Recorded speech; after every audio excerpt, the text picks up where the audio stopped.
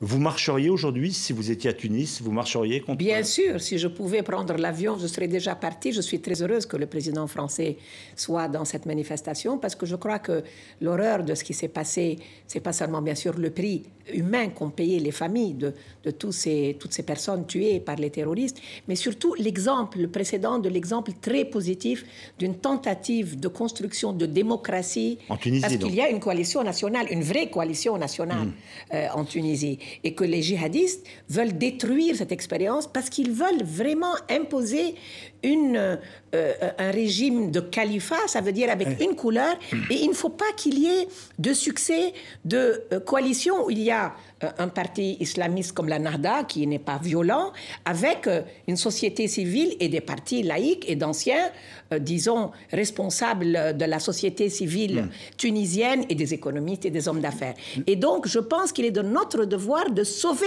l'expérience tunisienne. Nous, chacun de nous, vous, Européens, et chacun de nous, Arabes.